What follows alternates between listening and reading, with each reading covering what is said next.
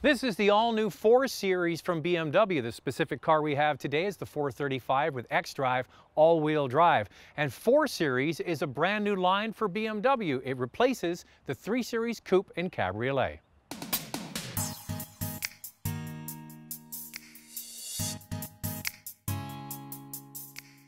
BMW has gone to a new naming structure. The even numbered cars will be coupes or cabriolets, and the odd numbered cars will be sedans.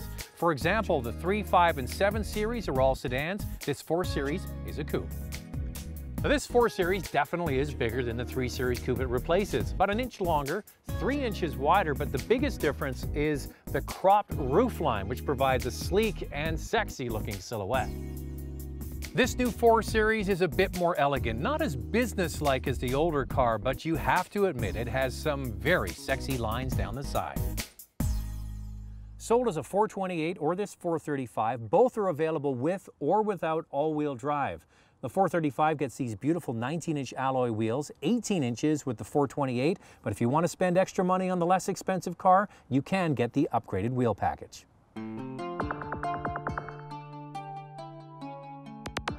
The 428 starts at $44,900 and the 435 starts at $54,900. To get all-wheel drive on the base 428, you have to add a whopping $4,100. But on this car, the 435, it's just $700 more to get all-wheel drive. Well, when you get in the 4 Series, instantly recognizable as a BMW. If you've ever been in a BMW, you know it right away. And that's one knock against this brand is all of their interiors basically look the same. This one looks slightly modified from the previous car, but on the other hand, they do some of the nicest materials in any car available right now. Beautiful soft touch materials on the top of the dash, the doors, even the lower part of the doors are covered with soft touch materials. Why does that matter? It holds up and it doesn't scuff and definitely lasts longer. So first rate materials in here, but more of the same. The back seat has a surprising amount of room. Tall adults can sit back there. It's the getting in and out that can be a little bit tricky. The back seat does fold down for more cargo area, making this a functional and sporty car. Now before we go for a drive, let's talk about iDrive. I've been on record for many years saying I've been no fan of this information communication system controller, uh, but you know what? They've upgraded it and amended it over the years to the point that I can actually use it now. It's really quite simple and I actually do appreciate it. One thing that Audi does better than BMW is they have a little volume knob right next to it. You change the station, you adjust the volume. You have to go to the steering wheel or the dash. That's one thing I'd like to see improved. Now under the hood of the 4 Series are two direct injection turbocharged engines. One's a four cylinder, the other an inline six.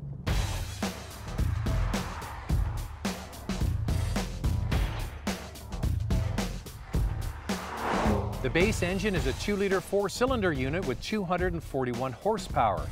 Sure, this is a nice compromise of power and efficiency, but the new Audi 2-liter in their S3 has 300 horsepower, and the Mercedes 2-liter in the CLA AMG has 355 horsepower. So 241 horsepower really isn't mind-blowing.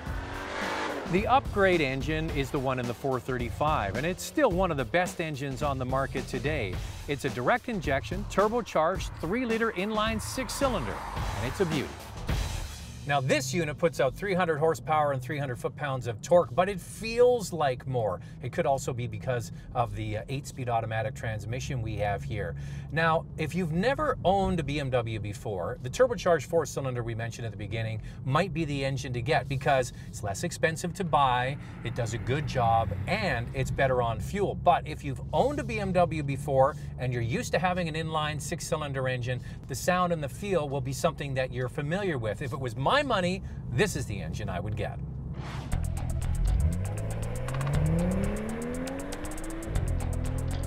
With so many new engines coming from other German makers, often with more power, BMW is being conservative.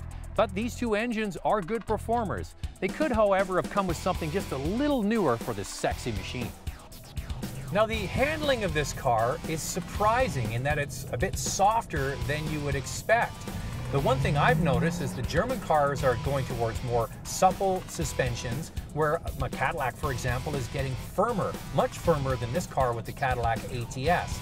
The thing is, you need to drive and test drive this 4 Series with and without sport packages because it makes a marked difference. But when you do push this car and throw it in the corners, boy, it does really handle well. The engine and suspension parameters can be changed with a touch of a button on the console. I like the comfort setting for stop and go city traffic and the sport setting for the rest of the time. Fuel economy has been very good for me. I've had a chance to drive this car, the 435, with the manual and with the 8-speed automatic in this one, and I'm getting just over 10 liters per 100 kilometers. Now this is a beautiful car, you have to admit it handles beautifully, it's got the badge appeal of BMW, but BMW doesn't live in a vacuum. The interior is basically more of the same. The engines are directly carried over from the previous model, and there are many strong competitors, especially the Germans. You can get 300 horsepower from a four-cylinder engine, where BMW gets it out of an inline six. And then you've got the strong competition from Lexus and Infiniti. So BMW has moved things forward, but ever so slightly slightly from a 3 to a 4.